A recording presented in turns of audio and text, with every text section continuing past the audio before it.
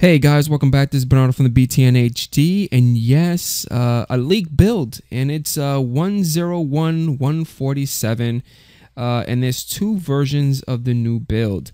I'm gonna. This is the build right here. I'm gonna show you guys some screenshots because uh, apparently the new the new way to install it is a little different. So by default, when you load up your ISO or your CD, uh, I noticed that the the margins between the border of the dialog box is a little off. I think that next button is a little too close. Uh, so that's like a little designer flaw. It does request you, it does ask you to put your product key during activation. You need to activate it on the spot. If not, you can skip it. And uh, this, you're able to pick which operating system you want. Uh, on this leak build, it allows you to do either Windows 10 Pro Insider Preview or Windows 10 Home Insider Preview. I picked the Home Edition because I wanted to see how it looks and feels. Then again, during the process of installing the operating system, uh, when another window pops up requesting a, a product key, uh, again, you can skip it or you could do this later. Uh, one of the things on this build which I like is that it gives you an option on the spot to skip this step. Okay, if you don't want to log in into your Microsoft account to have your Microsoft integrated with Windows 10, you can actually skip it on the spot. I know back then on the older builds, it, you just had to do all kind of things to uh, get away from it. And uh, when I inserted my VMware Tools CD, so I get all the drivers and stuff up and running, I did notice that the notification is on the bottom rather than the top. This normally you this normally appears at the top portion of it, but it looks like they relocated to the bottom. So what I have right here, I have uh, build one, one zero. I actually have one zero one four seven, and I also have um, one zero one three zero. And the reason why I got these two bills because I want to show you guys what's the difference between both of them, what's new. So off the bat on the taskbar, we got our new browser. It's not called Microsoft Spartan anymore.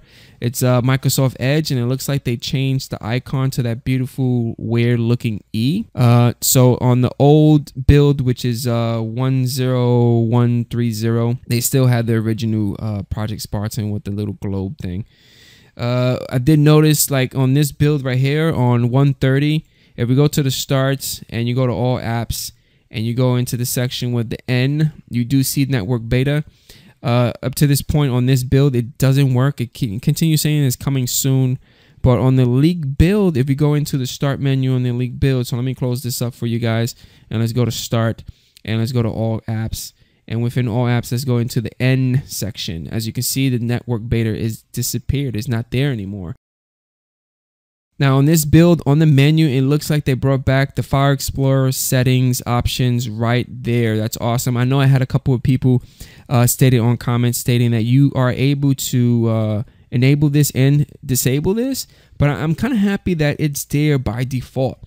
I think on the last build they removed it. So let's go back on this. On the last build they removed the File Explorer in the settings and I, I kind of like those two features, regardless if you can enable it or disable it. I just like to have it by default. Another thing that I noticed on the new leaked build on 147, let's go to all apps and within all apps, let's go into the P section. There's a phone companion. So when I click on that, uh, it looks like you're able to uh, connect your phone uh, to the Windows 10 so you can start sharing information like I'm assuming like photos or uh, documents and stuff. On the on build 130, it was not there. So let's go to all apps on 130 and let's go into the P section. And as you can see, we only have people photos, pictures, and Project Spartan. I'm hoping or I'm hoping that this particular app, this phone companion, is part of on the on the final build of Windows 10 because this is pretty cool, especially for Windows 10 uh, phone users. On Windows 10 build 147, let's go back into the start menu and all apps. I, you know, again, inside the all apps, there's a lot of cool new features. Uh, let's go into the Get or the G Get Office. This is new. Uh, I'm assuming if you have an Office 365 account, you're able to log in. Gives you a breakdown of all the Office stuff. It doesn't look like you are able to log in at all, but it looks like it just gives you information. But on 130, let's go back into the 130 and uh, let's go to all apps and let's go into the Get. There's no Get Office uh, icon there, but it looks like on this build they brought it there. Now on the League build 147, if we go to start and we go to all apps again, this build uh, I I notice a lot of apps have been added or removed. Okay, also with the League build, a bunch of icons have been changed. One of the icons that I noticed off the bat is the map.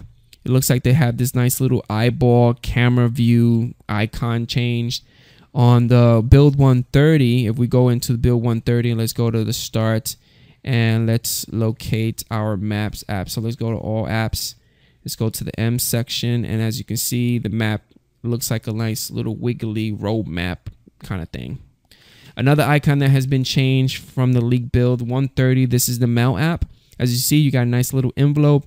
And if we go into the league build let's go to all apps and let's go to the m section and within the M section, as you can see, the envelope has changed. It looks a little bit smaller and it looks like it's open. Now on the on build 130, and if the H health and fitness was definitely removed from the league build, so we're gonna go over here.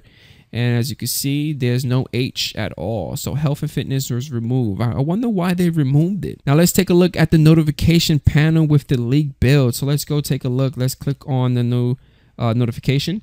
And off the bat, the first thing that I notice is you get a quiet hours and you get a note. So the note basically opens up your OneNote. I'm gonna close that up for you guys. And uh, the quiet hours, let's click on that, see what happens. I don't know if anything happens. Nothing's really happening. Uh, but let's go into build 130 and on build 130, let's go into the notifications and as you can see, there was no OneNotes or quiet sleep. So those are two new options. I'm assuming that I'm assuming that the quiet sleep or the quiet hour is uh, for tablet mode. Now mentioning the tablet mode, tablet mode has been changed as well. And so we, let's enable tablet mode within the League build. And as you can see, the power button and uh, the all apps menu or icon has been added at the lower left side of the tablet mode. Let's go into the old build and let's enable our tablet mode here. And no no power button or apps. The our apps i believe if you click on the the hamburger menu that's where it brings you all the apps. On the league build the ha the hamburger menu uh, acts a little different. It gives you the most recent uh, applications or mostly used as well as it gives you the option for the file explorer settings powers and all apps so uh, that's what the tablet mode uh, has been changed on the leak. I did notice on the leak they brought back the lollipop icon for Cortana. On the 130, it was the nice little circle. I kind of like the circle better than the lollipop version, but I want to know what you guys think about that. Like, leave your comments right below. And uh, this is a modification. And I did notice that when you try to manipulate the sound within tablet mode, let, us see what happens. So when I click on the sound, my um, my start menu is still there. But on the old build on 130, when I click on the speaker to change the volume, it disappears. And another thing that I notice is within build 130, when you when you get out of tablet mode, uh, regardless if you're in full screen, it, everything is minimized inside uh, nice little windows. But for some reason on the, the the leak, it doesn't minimize it. It just keeps it on full screen. So that I don't don't really like that option. And the last thing that I noticed is within the File Explorer. So on the leak build, it looks like they added music and as well as videos within the frequent folders. So I want to show you guys, let's go back and build 130 and let's go inside uh, File Explorer and the only options that they give you is desktop downloads documents and pictures so those are the only two options that they added so far within the file explorer and that's it guys that is the, latest leak build 10147 from windows 10 this is the home edition hopefully you guys enjoyed this uh, hands-on if you have any comments or concerns, leave them at the bottom of the video. And do not forget about hitting that like button because it does support this guy as well as the video. And I catch you guys on the next one. Peace out.